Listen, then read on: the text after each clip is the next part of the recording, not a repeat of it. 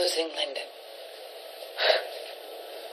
Well, I guess I should read it.